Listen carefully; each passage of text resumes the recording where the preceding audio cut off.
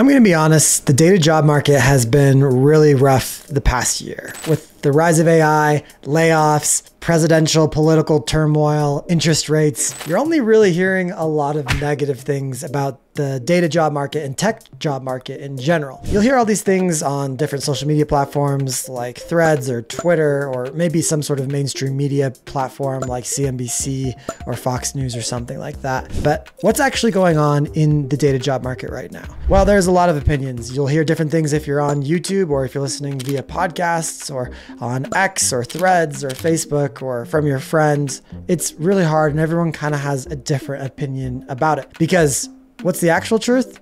No one really knows. No one exactly really knows how the job market is going right now. And I can tell you what I'm experiencing from being a data analyst career coach for over 600 different students. I can tell you about posting every day and interacting on LinkedIn or from doing this podcast and talking to industry experts, you know, people in the field. But here's the truth. Those would still just be kind of anecdotal opinions. It's what I'm experiencing. It's what the people around me are experiencing, but it wouldn't be quite comprehensive. So, but more importantly, it wouldn't really be data driven. And it's always better to be data driven, especially on channels like this. We're data analysts, right? We want to go off of what the data says. Let's go ahead and dive into some data. I was lucky to get my hands on this data. This data was collected by a company I was recently introduced to. It's called Live Data Technologies, and they track real time employment data leveraging publicly available data sets. So basically, what the company does is monitor different platforms and sees who's leaving jobs, who's coming into jobs. They're basically looking around the internet and publicly available data sets and trying to make sense of it all. The company sells the data and the insights that they pick up on this data to product builders, investors, talent teams, all sorts of different people. And luckily for us, they've agreed to make some of this data and some of these insights freely available to benefit the data community. So special shout out to them, specifically Jason Saltzman.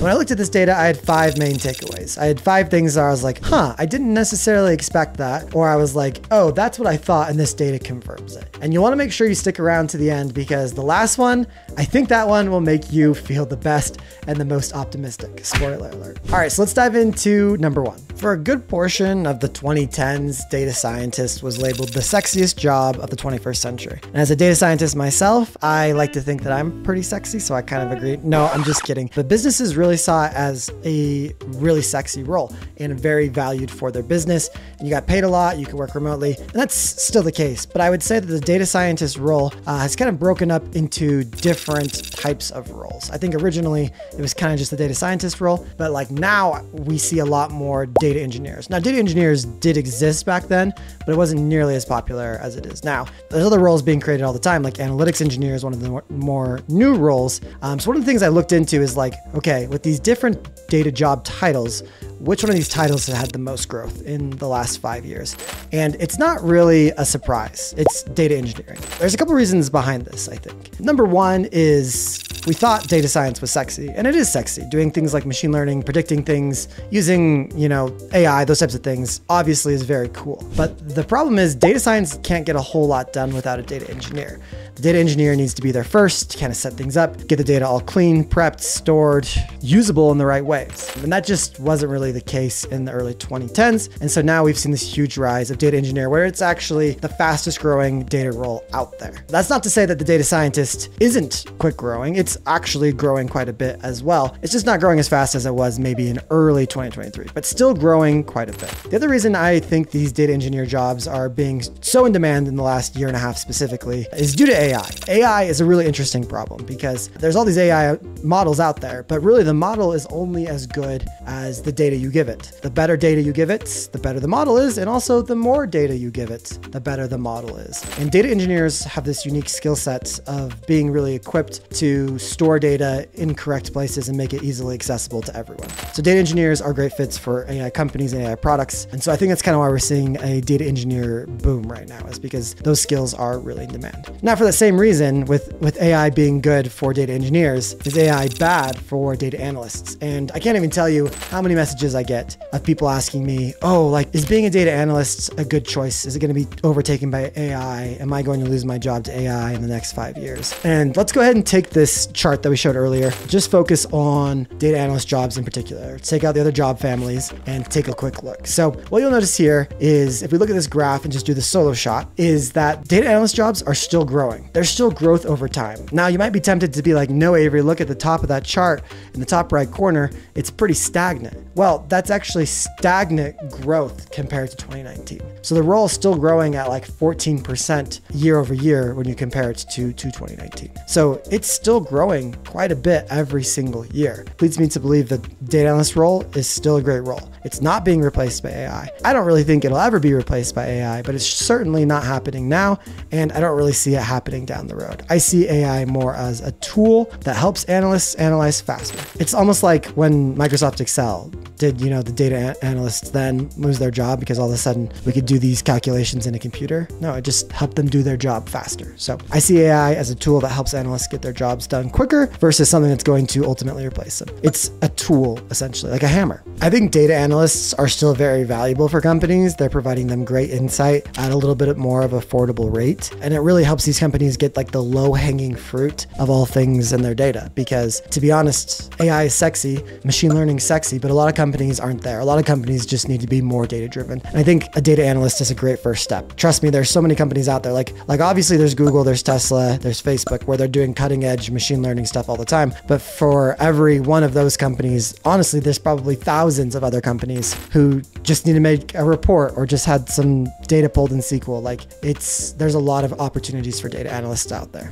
And that was my second takeaway. My third takeaway is that job hopping is in. If you look at this chart right here, it'll show you the average tenure of the different data job titles. And that basically just shows you how long they're staying in a specific role. You might notice that database roles, they're staying there quite a bit earlier. The rest of these job families look like they're pretty similar in terms of how long they're staying there. And it ranges anywhere from two and a half to one and a half years. And what I get from this is that is the average that someone is spending at a company before switching to a different company. I think that's a good thing. I think that should give you confidence to do it. I think in the past it was frowned upon to leave a company early, but now I think it's not nearly frowned upon as much. I think more people are doing it. And I think it's good because I talked about this in my episode with Zach Wilson, where he discussed how he went from like $30,000 to like $500,000 in like seven years or something like that. And one of the reasons he was able to do it was he switched jobs every 18 months. And for some strange company, we live in an economy where you're actually probably worth more to another company than your own. They're willing to pay you more than your current company is, which is weird and messed up. And we could go into that. But the point here is that it looks like everyone's job hopping. And so you might consider it as well. Point number four, and that is that data hiring is happening literally in so many different industries and so many different companies. Uh, I'll pop up on the screen a couple graphs here. We'll look at the first one, which is where companies are hiring data analysts in 2024. And what you'll notice here is there's so many cool companies like Capital One, Accenture, Deloitte, Data Annotation, Google. What I want you to point out here is like obviously Google's here, obviously Tesla's on this list, Apple's on this list, but there's a lot of like more traditional companies that aren't like big tech companies, that aren't FANG companies. And a lot of the times I think that we associate the data analyst role with tech and because it is kind of a tech role. But data analysts work at manufacturing companies, they work at finance companies, they work at healthcare companies. They don't only work at tech companies. The tech companies are kind of the sexy ones and they often have a high salary, but there's so many different roles at so many different companies. And sometimes I think we forget that, that like it's not just Facebook, it's not just Netflix that are hiring data people. It's manufacturing companies, it's consulting companies like Deloitte, it's healthcare companies like Optum. There's more opportunities for data analytics outside of tech than there is inside of tech. And I think it's just a good reminder. And then these graphs here that show what companies are hiring the most data engineers and data scientists. I will point out that data scientist companies are a little bit more of those tech companies, Meta, Microsoft, TikTok, Google, right? Those are a little bit more of what you typically feel in terms of tech companies. That being said, there's still consulting companies on this list, there's still banks on this list, there's still finance companies on this list, manufacturing companies.